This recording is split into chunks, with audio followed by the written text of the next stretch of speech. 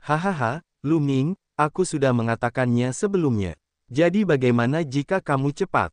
Kamu tidak bisa menghancurkan pertahananku. Sang bijak emas tertawa. Luming benar-benar tidak bisa menembus pertahanan Golden Sage. Perbedaan kekuatannya tidak terlalu besar. Golden Sage adalah eksistensi yang tidak terkalahkan. Kekuatan pertahanannya terlalu mengejutkan. Banyak orang menghela napas, mengira babak ini akan seri lagi. Golden Saint, kekuatan bertahanmu memang luar biasa, tetapi bagaimana kau tahu kalau itu adalah kekuatan tempurku yang terkuat? Pada saat ini, Suara tenang Luming terdengar. Apa? Sang bijak emas tercengang. Mari kita lihat apakah kau bisa menangkis tombakku ini. Luming melangkah mundur dan tiba-tiba menyerbu ke arah Golden Sage. Tombak panjangnya bergetar dan berubah menjadi lebih dari sepuluh cahaya tombak, menusuk ke arah Golden Sage. Akan tetapi, saat cahaya tombaknya hendak mengenai sang bijak emas, lebih dari selusin cahaya tombak bergabung menjadi satu dan berubah menjadi cahaya tombak yang menusuk ke arah sang bijak emas. Aduh, suara yang menusuk telinga terdengar, seolah-olah ada lapisan kulit yang tertusuk. Kemudian, dia mendengar raungan sang santo emas. Tubuhnya melayang jauh dan jatuh ke tanah. Itu, semua pupil mata berkontraksi. Pertahanan Golden Sage telah hancur. Ada sebuah lubang di jantung Golden Sage, yang ditusuk dari depan ke belakang oleh Luming. Tingkat ke-6. Keterampilan ilahi Anda yang belum lengkap telah dikembangkan hingga tingkat ke-6. Sang bijak emas berjuang untuk bangkit dan berteriak tak percaya. Tingkat ke-6. Hati semua orang bergetar, dan wajah mereka dipenuhi dengan ketidakpercayaan, No Felt. Luming juga telah mengembangkan keterampilan ilahi tipe serangan yang tidak lengkap ke tingkat ke-6. Baik keterampilan dewa tipe kecepatan maupun tipe serangannya telah dikembangkan hingga tingkat ke-6, sama seperti Ling Huye. Ini sungguh menantang surga. Kali ini, benar-benar ada dua karakter yang menantang surga. Perlu diketahui, semakin jauh seseorang mengembangkan keterampilan ilahi yang tidak lengkap, akan semakin sulit untuk mengolahnya, dan akan semakin kuat keterampilan tersebut. Misalnya, Golden Saint, Yang Chong, dan Huya adalah makhluk yang dapat mengendalikan kekuatan ilahi tingkat dewa. Untuk dapat mengendalikan kekuatan ilahi tingkat dewa, kemampuan pemahaman seseorang jelas tidak buruk. Namun, mereka hanya mengolahnya hingga puncak surga keempat, yang jauh dari surga keenam. Banyak yang merasa sulit untuk mempercayainya, tetapi mereka tahu bahwa itu adalah kebenaran. Kalau tidak, itu tidak akan mampu menembus pertahanan Golden Sage. Ling Huye tidak dapat menghancurkannya karena tingkat kekuatan ilahinya terlalu rendah. Namun, tingkat kekuatan ilahi Luming tidak rendah. Menakjubkan, menakjubkan. Sungguh pemahaman yang mengerikan. Prestasinya di masa depan tidak akan terbatas. Banyak orang berseru, sekte pedang kita yang tidak bisa dihancurkan pasti menginginkan orang seperti ini. Seorang ahli dari sekte pedang yang tidak bisa dihancurkan tiba-tiba berbicara. Kau bertekad untuk tidak menghancurkan sekte pedang. Lucu sekali. Akademi iblisku yang unik menginginkan anak ini. Menurutku, Akademi Suci tanpa batas lebih cocok untuknya. Pada saat ini, para kultivator dari tiga kekuatan penguasa semuanya berbicara. Para ahli ini bukan orang yang remeh. Mereka telah melihat sesuatu yang tidak biasa. Mereka merasa Luming tidak menggunakan kekuatannya secara penuh. Meskipun Luming telah menggunakan teknik transformasi jiwa untuk menyembunyikan karakteristik dan tingkat kekuatan ilahi penguasa, ahli seperti itu memiliki mata yang tajam. Mereka samar-samar dapat merasakan bahwa kekuatan ilahi Luming tak terduga dan tinggi di atas. Oleh karena itu, mereka pun angkat bicara satu per satu. Banyak orang kehilangan kata-kata, dan beberapa pemuda sangat iri. Penilaian bahkan belum berakhir, dan ketiga pasukan Overlord sudah mulai menculik orang. Orang lain tidak dapat bergabung dengan tiga kekuatan Overlord bahkan jika mereka menginginkannya. Namun, Luming telah menjadi orang yang populer. Dia dapat memilih dari tiga kekuatan Overlord. Perlakuan seperti ini benar-benar berbeda. Tidak heran dia iri. Aneh, aneh. Aku tidak pernah menyangka akan ada orang aneh seperti itu di sungai astralku yang kacau. Kakak Fa, selamat. Kakak Fa, mohon maafkan aku jika selama ini aku kurang ajar. Di tengah kekacauan sungai astral, beberapa pemimpin pasukan sudah mulai menjilat Faming. Khususnya, beberapa pemimpin pasukan yang menaruh dendam pada leluhur teknik bahkan tersenyum patuh dan menyanjungnya. Sungguh lelucon. Sudah pasti Luming akan bergabung dengan tiga pasukan penguasa. Dia juga akan dihargai. Pengaruh pasukan kebenaran pasti akan meningkat. Adapun Kang Ji dan Situ Haonan, kedua mata mereka menunjukkan ekspresi ketakutan. Banyak pikiran berkecamuk di hati mereka dan mereka sudah mulai berpikir tentang apa yang harus dilakukan selanjutnya. Apakah kamu masih ingin bertarung? Tatapan Luming beralih ke King Kong. Aku tidak akan melawan lagi. Karena kau telah menembus pertahananku, aku mengaku kalah. Jin Gang menggelengkan kepalanya dan kembali ke panggung batu. Lu Ming telah memenangkan pertempuran ini. Sekarang, masih ada pertempuran terakhir, yaitu Lu Ming melawan Ling Huye. Lu Ming, apakah kamu perlu istirahat? Pria parubaya itu bertanya. Aku tidak membutuhkannya. Lu Ming menggelengkan kepalanya. Baiklah, pria parubaya itu mengangguk dan menatap Ling Huye. Ling Huye, apakah kamu masih ingin bertarung? Alasan dia menanyakan hal ini adalah karena, dilihat dari kekuatan di permukaan, Ling Huye bukanlah tandingan Luming. Keterampilan ilahi yang belum sempurna yang mereka berdua pahami serupa, tetapi tingkat kultivasi Luming sedikit lebih lemah. Dia berada di tingkat setengah dewa. Namun, tingkat kekuatan ilahi Luming jauh lebih tinggi daripada Ling Huye. Kemampuan keseluruhannya masih lebih tinggi daripada Ling Huye. Bertarung. Jawaban Ling Huye sederhana, dan dia terjun ke ring pertarungan. Ling Huye benar-benar menerima tantangan itu. Aku khawatir dia tidak bisa menandingi Lu Ming. Beberapa orang sedang berdiskusi. Dia tidak bisa menggunakan artefak ilahi di alam mimpi, dan dia juga tidak bisa menggunakan beberapa teknik rahasia. Dalam situasi di mana dia lebih lemah di permukaan, dia hanya bisa mengandalkan teknik pertempuran dan kesadarannya. Jika Ling Huye ingin menang, dia harus jauh lebih unggul dari Lu Ming dalam hal kesadaran tempur dan keterampilan tempur. Namun, itu jelas mustahil. Berdengung, berdengung. Keduanya bergerak pada saat yang sama dan pertempuran sengit pun dimulai. Keterampilan bertarung dan kesadaran bertarung Ling Huye sangat kuat. Kekuatan mereka sungguh mencengangkan. Namun, Lu Ming sama sekali tidak kalah. Dia bahkan lebih kuat dari Ling Huye. Tidak ada ketegangan dalam pertempuran ini. Setelah lebih dari 10 gerakan, Ling Huye dipukul oleh Lu Ming dan mundur sambil muntah darah. Kamu kalah, Lu Ming berkata dengan acuh tak acuh. Lu Ming, aku kalah hari ini karena tingkat kekuatan ilahiku tidak cukup tinggi. Jika tingkat kekuatan ilahiku cukup tinggi, aku tidak akan kalah. Wajah Ling Huye gelap. Kali ini, dia mengira bisa menyapu bersih semua pahlawan dan mengambil tempat pertama. Dia tidak menyangka akan dikalahkan oleh Lu Ming. Dia sedikit tidak rela. Meskipun ini hanya ujian, dia tidak akan membiarkan dirinya kalah. Lu Ming tersenyum tipis dan tidak mengatakan apa-apa. Lu Ming, bagaimana kalau kita bertarung lagi seribu tahun kemudian? Ling Huye terus memberikan tantangan. Aku akan menemanimu kapan saja. Kata Lu Ming. Baiklah, setelah seribu tahun, kita akan bertarung dan aku pasti akan mengalahkanmu. Ling Huye penuh percaya diri. Selama dia memperoleh keterampilan ilahi, level kekuatan ilahinya akan terus meningkat. Dia bahkan mungkin berkultivasi hingga puncak dan memadatkan kekuatan ilahi tingkat ilahi. Baiklah, penilaiannya sudah selesai. Pria parubaya itu mengumumkan di udara. Banyak orang yang hatinya bergetar. Acara utama akan segera dimulai. Ujian telah berakhir. Sekarang, saatnya untuk bergabung dengan 13 klan surga Kin. Banyak pemuda yang tidak bisa menahan rasa gugup.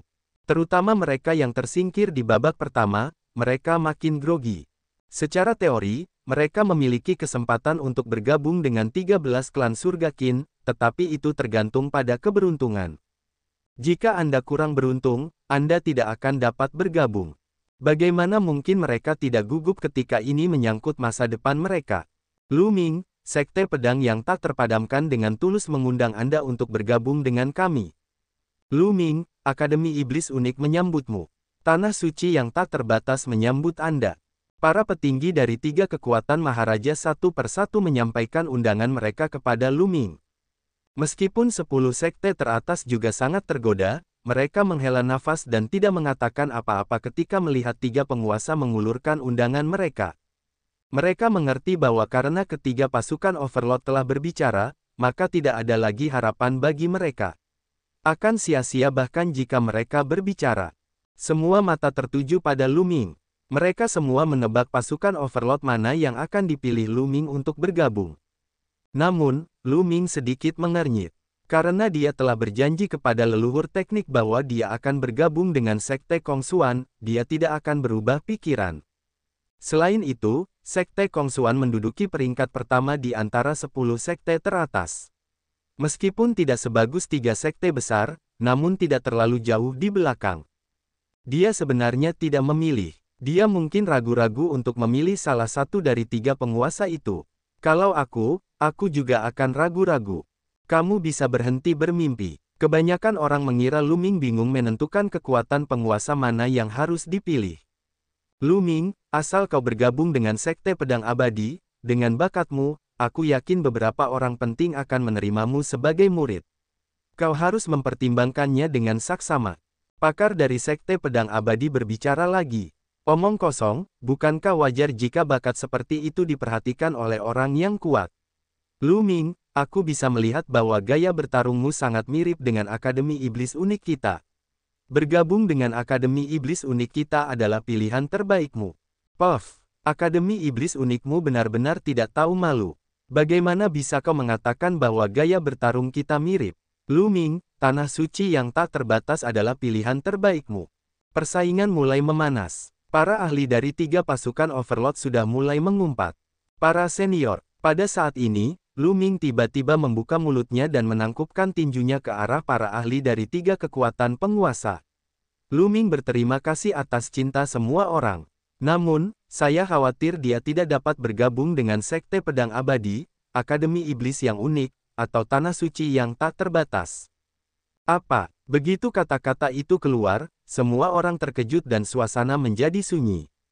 Luming benar-benar menolak undangan ketiga pasukan penguasa pada saat yang sama. Apakah dia gila? Tiga kekuatan Overlord adalah yang terkuat di zona bintang surga Kin, kecuali beberapa klan kuno. Banyak orang telah mencoba yang terbaik untuk masuk tetapi tidak berhasil. Luming benar-benar menolak mereka. Sebagian besar orang terkejut. Adapun Kang Ji dan Situ Haonan, mereka sangat gembira. Hahaha, bocah ini, ternyata dia sangat berbakat. Ternyata dia hanya seorang idiot. Dia benar-benar menolak tiga pasukan Overlord. Idiot, dasar idiot. Dia tidak hanya tidak akan bisa bergabung dengan tiga kekuatan Overlord, tetapi dia juga akan menyinggung para ahli dari tiga kekuatan Overlord. Kang Ji dan Situ Haonan tertawa terbahak-bahak di dalam hati mereka. Mereka sangat gembira. Apakah saya benar atau salah? Leluhur teknik itu mendesah dalam hatinya. Ia dipenuhi rasa bersalah terhadap Luming. Jika bukan karena permintaannya, Luming kemungkinan besar akan memilih bergabung dengan tiga pasukan penguasa. Seperti dugaanku, para pakar dari ketiga pasukan penguasa semuanya menampakkan ekspresi tidak senang. Luming, sebaiknya kau pertimbangkan baik-baik. Benar sekali, pikirkan baik-baik sebelum berbicara. No Felt B Indo C Om. Para pembudidaya dari tiga kekuatan penguasa berbicara satu demi satu. Para senior, Luming hanya bisa mengucapkan terima kasih kepada semua orang atas cinta mereka. Luming menangkupkan tinjunya dan menolak lagi. Wajah para ahli dari tiga pasukan Overlord menjadi gelap. Huff, kamu tidak tahu tempatmu. Kamu keras kepala sekali. Suara-suara tidak senang datang dari para ahli dari tiga penguasa. Jika Luming memilih salah satu dari tiga pasukan Overlord, itu akan baik-baik saja. Sekarang setelah Luming dan dua lainnya menolaknya bersama-sama, mereka merasa malu. Para ahli dari sepuluh sekte teratas sangat gembira. Itu karena mereka punya kesempatan. Lu Ming, Sekte Kongsuan dengan tulus mengundang Anda untuk bergabung dengan kami. Sekte Gedung Bertingkat saya menyambut Anda. Sekte Salju Terbang saya dengan tulus mengundang Anda. Sepuluh sekte teratas semuanya mengundang Luming untuk bergabung dengan mereka. Pandangan Luming menyapu para tokoh terkemuka dari sepuluh sekte teratas dan akhirnya tertuju pada para tokoh terkemuka dari sekte Kongsuan. Namaku Luming, dan aku bersedia bergabung dengan sekte Kongsuan. Luming menangkupkan tinjunya dan berkata, dia bergabung dengan sekte Kongsuan. Seseorang berteriak, namun lebih banyak orang yang bingung. Mengapa Luming memilih bergabung dengan Sekte Kongsuan dan bukannya ketiga kepala sekte? Meskipun Sekte Kongsuan menduduki peringkat pertama di antara 10 sekte teratas, namun masih belum sebaik tiga sekte penguasa lainnya. Daripada tiga kekuatan penguasa, dia memilih Sekte Kongsuan. Mungkin, dia adalah teman lama Sekte Kongsuan. Banyak orang yang menebaknya. Para tokoh penting Sekte Kongsuan sangat gembira. Mereka tidak menyangka bahwa Luming akan memilih Sekte Kongsuan pada akhirnya. Bagus, bagus, bagus, kemarilah, kemarilah. Para tokoh terkemuka dari Sekte Kongsuan mengangguk berulang kali dan merasa sangat gembira. Senior, saya punya permintaan. Beberapa teman saya ingin bergabung dengan Sekte Kongsuan. Tolong penuhi permintaan saya. Kata Luming. Teman-teman, tidak masalah. Siapa kalian? Kata pembangkit tenaga listrik dari Sekte Kongsuan. Tatapan Luming tertuju pada Xien Yanxing, Xien Yanjun, dan Tong Xier. Xien Yanxing melangkah maju dan berdiri di samping Luming. Junior bersedia bergabung dengan Sekte Kongsuan, kata Xien Yanxing. Mata Xien Yanjun berkedip saat dia melangkah maju dan datang ke sisi Luming. Namun, dia tidak mengatakan apa pun. Baiklah, tentu saja, Tokoh kuat dari Sekte Kongsuan mengangguk. Penampilan Xien Yanxing dan Xien Yanjun barusan juga sangat bagus, jadi dia tentu tidak akan tidak setuju. Lu Ming, aku ingin bergabung dengan Sekte Kolam Emas, salah satu dari sepuluh sekte teratas. Kekuatan suci yang kumiliki lebih cocok untuk Sekte Kolam Emas. Pada saat ini, Tong Xier mengirim transmisi suara ke Lu Ming. Lu Ming mengangguk. Dia tentu saja menghormati pilihan Tong Xier. Setelah itu, Lu Ming, Xie Yanxing, dan Xie Yanjun tiba di distrik Sekte Kongsuan. Ling Huye, Sekte Pedang Abadi ingin mengundangmu untuk bergabung dengan kami. Akademi Iblisku yang unik, Tanah Suci yang tak terbatas. Kemudian, ketiga pasukan penguasa mulai mengundang Ling Huye. Pemahaman Ling Huye juga sangat tinggi. Meskipun kekuatan ilahinya masih lemah, dia tetap sangat penting bagi mereka dan mereka semua mengirimkan undangan. Aku akan bergabung dengan Sekte Pedang Abadi. Ling Huye berkata, memilih Sekte Pedang Abadi. Para ahli dari Sekte Pedang Abadi sangat gembira. Baiklah, selama kamu berkultivasi dengan baik, aku jamin kamu akan mampu menginjak-injak Luming dalam seribu tahun. Pakar dari Sekte Pedang Abadi itu berkata sambil menatap Luming dengan pandangan tidak senang. Luming tersenyum tipis dan tidak mengatakan sepatah kata pun. Masih terlalu dini untuk mengatakannya sekarang. Tokoh kuat dari Sekte Kongsuan menjawab dengan dingin. Sekarang Luming adalah anggota Sekte Kongsuan, sudah sewajarnya jika para petinggi Sekte Kongsuan akan melindunginya. Terlebih lagi, meskipun Sekte Kongsuan tidak sekuat Sekte Pedang Abadi, mereka tidak takut. Suasana antara para petinggi Sekte Pedang Abadi dan Sekte Kongsuan dipenuhi dengan bau mesiu. Huff, pada akhirnya, Ahli dari Sekte Pedang yang tidak bisa dihancurkan itu melambaikan lengan bajunya dan mendengus dingin, tanpa mengatakan apa pun. Setelah itu, tiga kekuatan Maharaja dan sepuluh sekte teratas mulai mengundang Yang Chong, Huya, dan Golden Sage. Pada akhirnya, Sang Bijak Emas bergabung dengan Sekte Pedang Abadi. Huya telah bergabung dengan Akademi Iblis yang unik. Yang Chong telah bergabung dengan Tanah Suci yang tak terbatas. Tentu saja, Sekte Kongsuan dan Sekte Pedang Abadi memperoleh keuntungan terbesar kali ini.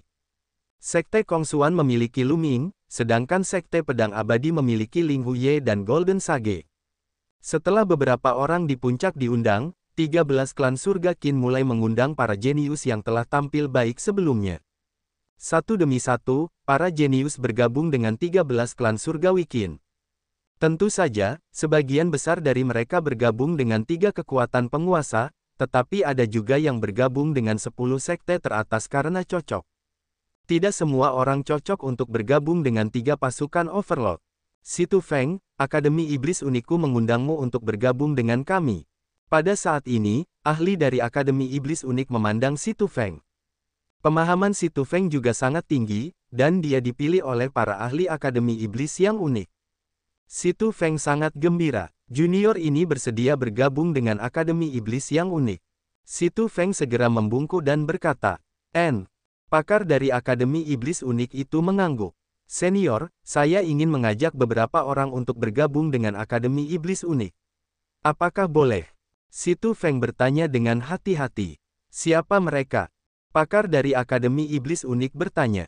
Situ Feng segera memberitahunya tentang Kang Long dan Situ Xiaolai, termasuk peringkat mereka di babak pertama. Baiklah, tentu. Pakar dari Akademi Iblis Unik itu berpikir sejenak lalu mengangguk. Kami telah bergabung dengan Akademi Iblis yang unik. Kami telah bergabung dengan Akademi Iblis yang unik. Di luar ruang mimpi, di bawah layar besar, Kang Long dan Situ Xiao secara alami melihatnya. Mereka begitu bersemangat hingga hampir meledak. Hahaha, bagus, bagus. Situ Haonan dan Kang Ji juga sangat gembira. Mereka hanya merasa segar dan suasana hati mereka tenang. Dengan cara ini, mereka tidak akan takut kepada tentara yang saleh. Lu Ming sebenarnya telah memilih Sekte Kong Xuan. Sekte Kong Xuan hanyalah sekte teratas. Adapun Si Tu Feng, dia telah bergabung dengan pasukan Overlord, Akademi Iblis yang unik. Meskipun Lu Ming sangat dihargai oleh Sekte Kong Xuan, Si Tu Feng telah menjadi murid Akademi Iblis yang unik dan tidak perlu takut pada Lu Ming. Sedangkan bagi sekte yang bebas dan tak terkekang serta istana Yuan Luo, mereka tidak perlu takut lagi terhadap tentara yang adil. Benar saja, mata beberapa pemimpin pasukan di Sungai Astral yang kacau juga berkedip-kedip. Mereka sedang mempertimbangkan sikap mereka terhadap tentara kebenaran, istana Yuan Luo, dan sekte tanpa keterbatasan. Meskipun Lu Ming akan dihargai oleh sekte Kong Xuan, akan tetapi, sekte Kong Xuan hanyalah sekte teratas, sementara Akademi Yimo merupakan kekuatan penguasa. Sulit untuk mengatakan siapa yang lebih kuat antara Lu Ming dan Si Tu Feng. Jangan terlibat dalam pertempuran antara kedua belah pihak untuk saat ini. Para penguasa banyak kekuatan di Sungai Astral yang kacau berpikir dengan cara ini.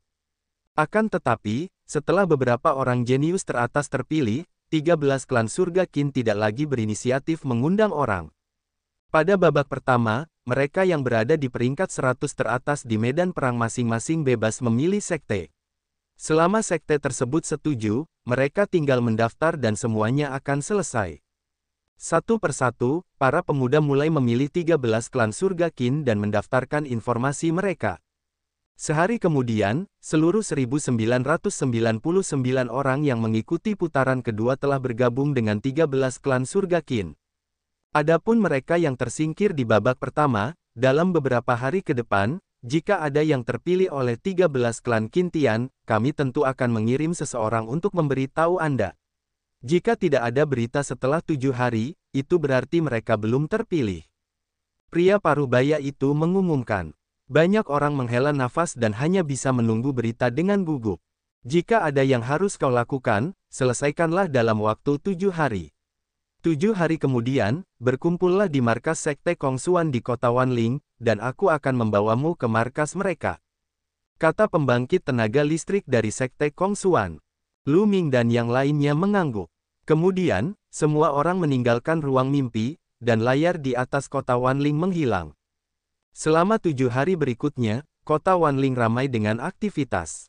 Sebagian orang merayakan, sebagian lainnya menunggu dengan cemas. Lu Ming dan yang lainnya bertemu dengan leluhur teknik dan merayakannya bersama. Tong Xier juga berhasil bergabung dengan Sekte Kolam Emas. Dalam sekejap mata, tujuh hari telah berlalu. Lu Ming, Xian Yanxing, dan Xie Nianjun tiba di pangkalan Sekte Kongsuan di kota Wanling. Planet Myriad Spirit merupakan planet komersial terbesar di zona bintang Kin Heaven. Ketiga belas klan Kin Heaven semuanya memiliki toko di planet Myriad Spirit dan bahkan karavan, jadi mereka tentu saja memiliki pangkalan. Lu Ming dan yang lainnya berkumpul di sebuah rumah besar. Selain Lu Ming dan rombongan, ada beberapa orang lainnya. Jumlah totalnya sekitar 150 orang. Ini adalah jumlah total pengikut yang direkrut Sekte Kongsuan kali ini. Di galaksi Kintian yang luas, lebih dari satu juta orang jenius dipilih. Pada akhirnya, Sekte Kongsuan hanya memilih 150 orang. Kemungkinan ini dapat dikatakan sangat rendah. Ketika Luming dan yang lainnya tiba, banyak mata tertuju pada mereka. Luming dan dua orang lainnya sangat menarik perhatian. Bakat Luming sangat mengagumkan dan dia menjadi yang pertama dalam penilaian. Xie Nianxing dan Xie Nianjun sama-sama cantik dan tampak hampir mirip. Sulit untuk tidak menarik perhatian saat mereka bertiga berdiri bersama. Kebanyakan orang memandang Luming dengan kagum, tetapi beberapa dari mereka memiliki semangat juang yang kuat.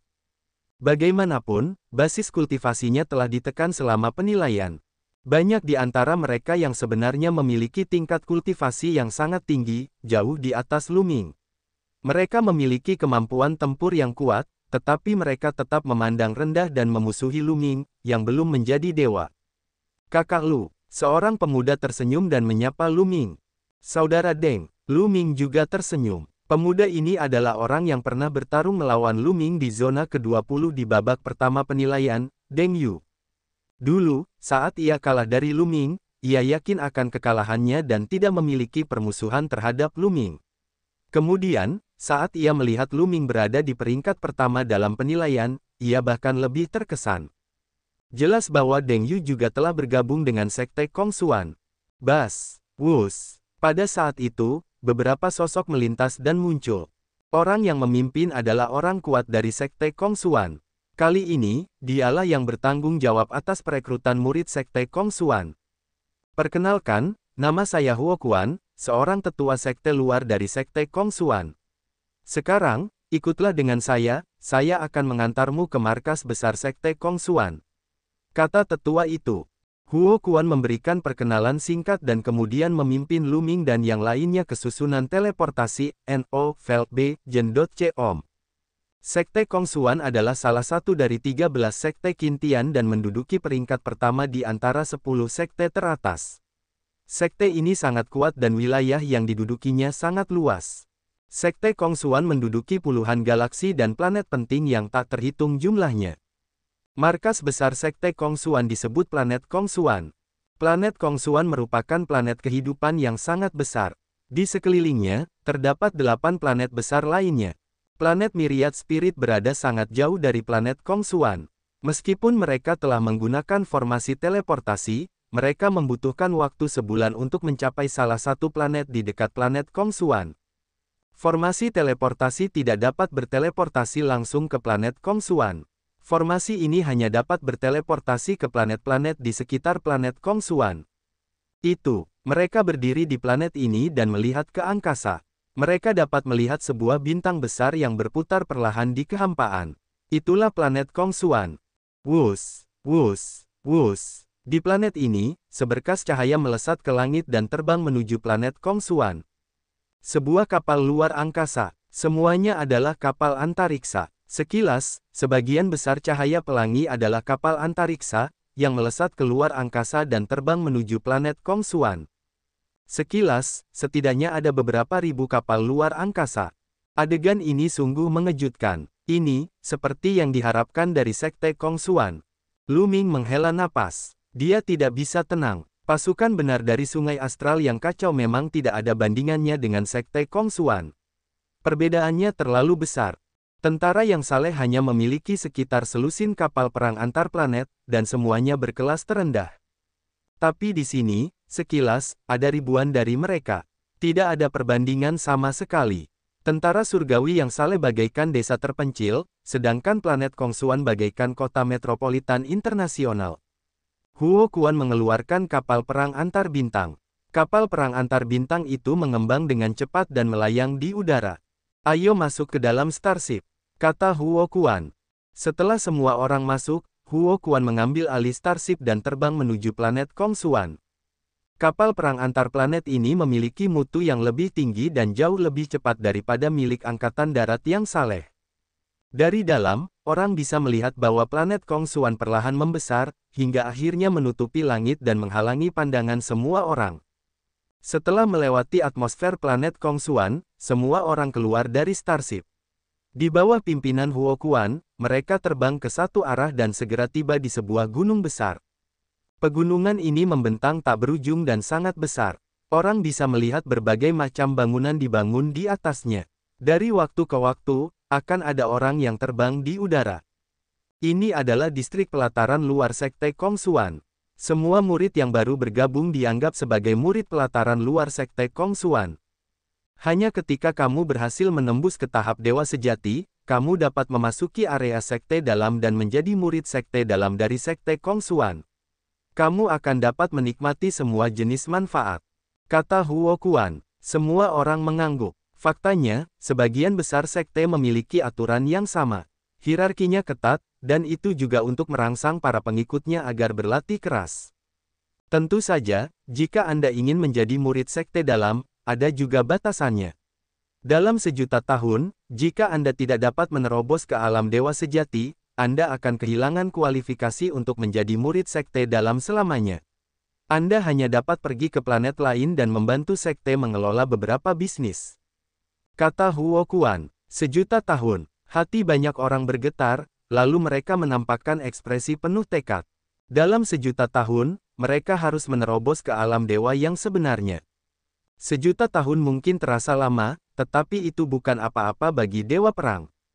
Di alam dewa bela diri, jika seseorang tidak memiliki harta karun alami atau pil dewa tingkat tertinggi, akan sangat sulit untuk menembus setiap level. Itu akan memakan banyak waktu.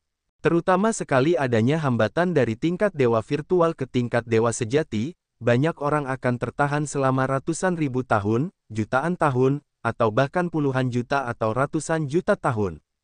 Mereka semua masih sangat muda, semuanya berusia di bawah sepuluh ribu tahun. Meskipun mereka semua berbakat, mereka tidak dapat menjamin bahwa mereka semua dapat menerobos ke alam dewa sejati dalam waktu satu juta tahun. Jika dia tidak bisa menembus dewa sejati, dia harus ditugaskan ke planet lain untuk membantu Sekte Kongsuan mengelola bisnis mereka. Dalam hal itu, prestasinya di masa depan akan terbatas jika dia terganggu. Dalam waktu sejuta tahun, aku pasti akan menjadi dewa sejati dan pengikut Sekte dalam. Aku sudah berada di level ketiga alam dewa kekosongan. Aku pasti akan berhasil dalam waktu satu juta tahun. Titik titik titik titik titik titik. Ke-150 pemuda itu semuanya memiliki tatapan penuh tekad dan sangat percaya diri. Nov L.B. Jen. Huo Kuan melihat ini dan tersenyum santai. Dia telah hidup lama dan telah melihat begitu banyak orang jenius yang muncul setiap seribu tahun. Setiap orang dari mereka memiliki kepercayaan diri yang besar pada awalnya. Namun, setiap tahun, banyak orang tidak dapat menembus batas dalam waktu satu juta tahun. Sebagian besar dari mereka terjebak di puncak alam dewa kekosongan. Tentu saja dia tidak akan mengatakannya keras-keras agar tidak menyakiti kepercayaan semua orang. Ikuti aku, ayo kita pergi, kata Huo Kuan sambil terbang menuju pegunungan di depan. Rombongan itu mengikutinya, dan segera, mereka tiba di pintu keluar pegunungan. Dua pemuda, seorang pria dan seorang wanita, datang menyambut mereka. Salam, Tetua Huo, Kedua pemuda itu membungkuk. N. Huo Kuan mengangguk dan berkata kepada Luming dan yang lainnya, ikuti kedua kakak beradik senior ini untuk mencari tempat tinggal. Setelah kalian menetap, kalian harus mendaftarkan informasi kalian di Balai Urusan Manusia dalam tiga hari dan menerima token identitas kalian. Aku akan melaporkan masalah kalian sekarang. Dengan itu, Huo Kuan berubah menjadi pelangi dan pergi. Saudara-saudari junior, kami para pengikut sekte luar hidup terpisah untuk pria dan wanita. Pria tinggal di satu area, dan wanita tinggal di area lain. Saudari-saudari junior, ikuti aku. Wanita itu berkata, lalu berbalik dan terbang ke pegunungan. Lu Ming, aku pergi dulu. Xie Nianxing berkata pada Lu Ming. Pergi. Lu Ming tersenyum dan mengangguk. Kemudian, Xie Nianxing, Xie Nianjun, dan murid perempuan lainnya pergi bersama wanita itu. Jumlah mereka lebih dari 150 orang. Jumlah wanita lebih sedikit, sekitar 50 orang, dan 100 orang sisanya adalah murid laki-laki. Saudara-saudaraku yang masih junior, ikutlah aku. Pria itu berkata, dia berbalik dan pergi, dan semua orang mengikutinya. Tak lama kemudian, mereka sampai di sebuah gedung. Ada halaman di sini, dan masing-masing halaman sangat luas. Di sinilah para pengikut sekte luar akan tinggal. Kalian dapat memilih sendiri. Ada tanda di pintu setiap halaman. Namun, jika ada seseorang yang tinggal di sini, tanda itu akan dicopot. Kalian dapat memilih orang-orang yang memiliki tanda itu. Kalian dapat memilih sesuka hati. Setelah Anda menentukan pilihan, laporkan ke Aula Sumber Daya Manusia dalam waktu tiga hari. Setelah berkata demikian, pemuda itu berbalik dan pergi, seolah-olah dia mempunyai beberapa kekhawatiran. Luming dan kelompoknya bingung, tetapi mereka tidak peduli. Mereka berjalan menuju halaman. Mencicit. Pada saat ini, pintu sebuah halaman terbuka dan beberapa pemuda keluar. Mereka memandang Luming dan yang lainnya dengan ekspresi mengejek. Pendatang baru yang datang sekali dalam seribu tahun kini hadir lagi. Salah satu pemuda terkekeh dan berjalan menuju Luming dan yang lainnya. Salam, saudara senior. Beberapa orang menyapa para pemuda itu. Bagaimanapun, mereka masih baru di sini, dan beberapa orang tidak berani bertindak gegabah.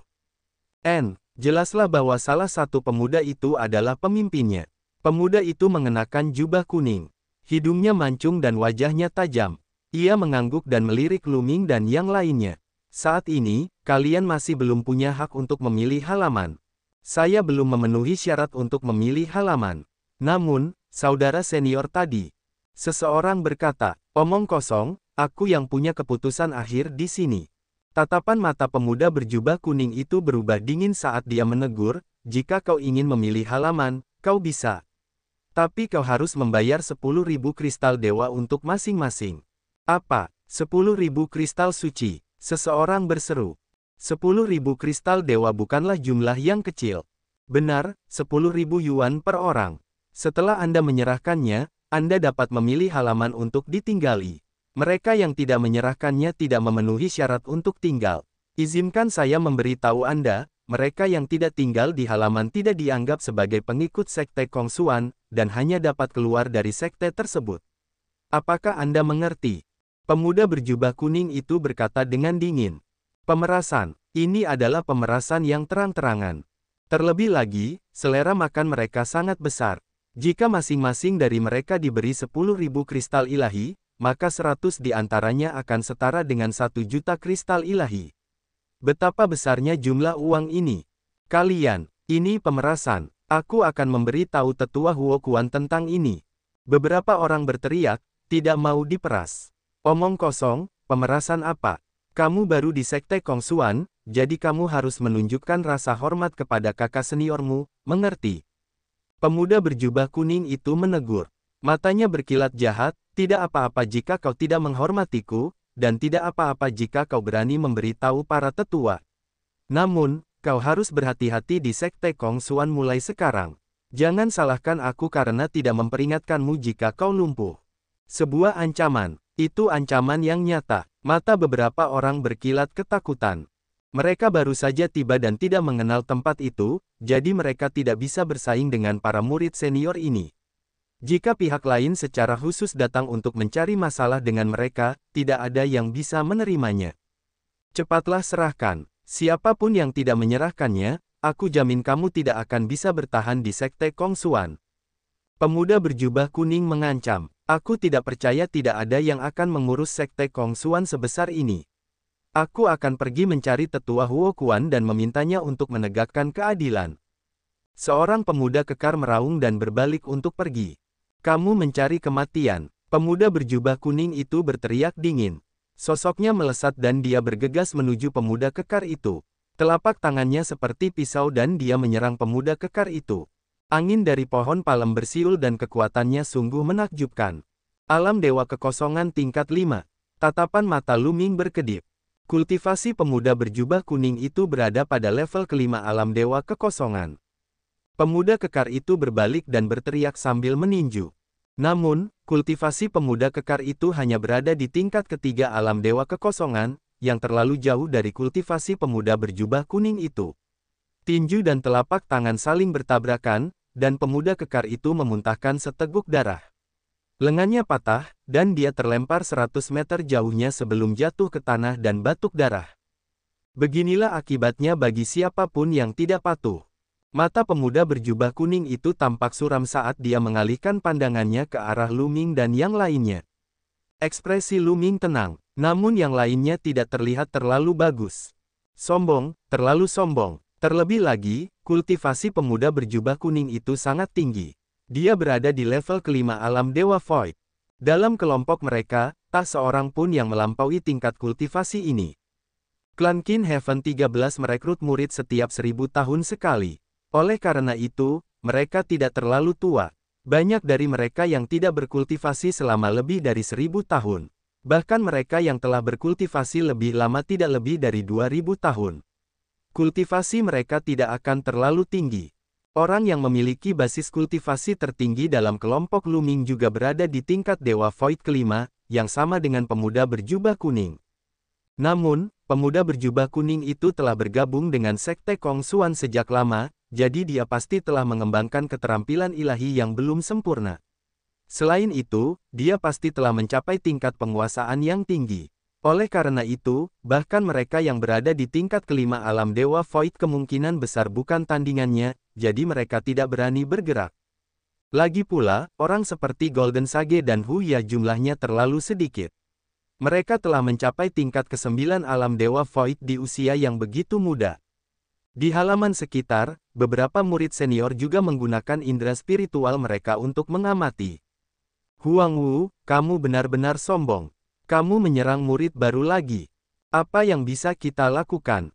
Siapa yang meminta dia untuk memiliki seorang kakak laki-laki dengan latar belakang yang kuat? Lagi pula, orang lain ingin menyelamatkan mukanya, tetapi dia tidak. Dia tidak menginginkan muka. Benar sekali, kita hanya bisa menyalahkan murid-murid baru ini atas nasib buruk mereka. Bayar 10.000 kristal suci untuk keselamatan. Aku sudah membayar 10.000 seribu tahun yang lalu. Beberapa murid senior diam-diam berkomunikasi satu sama lain. Cepat dan serahkan, aku tidak punya banyak waktu untuk disia-siakan dengan kalian. Pemuda berjubah kuning, Huang Wu, mengarahkan pandangan dinginnya pada Luming dan yang lainnya. Saya akan membayar, saya akan membayar. Akhirnya, seseorang ragu-ragu. Dia mengeluarkan 10.000 kristal ilahi dan menyerahkannya kepada Huang Wu. Aku juga akan membayar. Saya akan membayar. Banyak orang datang satu demi satu dan menyerahkan sepuluh ribu kristal dewa. Dia tidak punya pilihan lain selain menundukkan kepalanya, jadi dia akan memperlakukannya seperti menghabiskan uang untuk menyingkirkan bencana. Nak, giliranmu. Seorang pemuda di samping Huang Wu menatap dingin ke arah Luming. Maaf, saya tidak punya kristal suci. Luming merentangkan tangannya dengan santai dan berjalan menuju halaman. Bocah, berhenti. Huang Wu berteriak dengan dingin. Namun, Lu Ming tampaknya tidak mendengarnya dan terus bergerak maju. Sudah ku bilang berhenti, kamu tuli. Huang Wu berteriak. Tentu saja aku tidak tuli. Saat Lu Ming berjalan, dia berbalik dan melirik ke arah Huang Wu. Namun, menurutmu siapa dirimu yang berani berhenti hanya karena kau menyuruhku? Apa? Huang Wu tercengang. Lu Ming benar-benar berani berbicara kepadanya dengan cara seperti ini. Beraninya seorang pemula berbicara seperti itu padanya. Dia bukan satu-satunya. Para murid senior yang menyaksikan juga sangat terkejut. Anak ini benar-benar pemarah. Beraninya dia mengatakan hal itu tentang Huang Wu. Aku takut dia akan berakhir dalam keadaan yang menyedihkan. Sulit untuk mengatakannya. Karena dia berani mengabaikan Huang Wu seperti ini, mungkinkah dia adalah kesayangan surga dari suatu kekuatan besar? Ini, aku tidak bisa mengatakannya dengan pasti. Semua murid senior tergerak. Itu bukan hal yang mustahil. Di wilayah Bintang Kintian, selain beberapa ras yang sangat menakutkan dan 13 klan Kintian, ada juga beberapa kekuatan dan ras yang kuat lainnya. Kekuatan-kekuatan ini juga akan memilih para jenius muda untuk bergabung dengan 13 klan Kintian. Misalnya suku Tigerman seperti ini. Jika dia berasal dari klan yang kuat, wajar baginya untuk memiliki kepercayaan diri seperti itu. Huang Wu tertegun sejenak, tetapi dia juga memikirkan hal ini. Matanya berbinar saat dia melirik Luming. Nak, kau punya nyali. Dari galaksi mana kau berasal? Sungai astral yang kacau. Luming berkata dengan acuh tak acuh. Apa, apa, sungai astral yang kacau, sungai astral yang penuh reruntuhan itu. Beberapa murid senior, termasuk Huang Wu, tercengang. Dia benar-benar datang dari sungai astral yang kacau. Huang Wu bertanya pada murid baru lainnya untuk mengonfirmasi. Ya, ya, dia memang dari sungai astral yang kacau.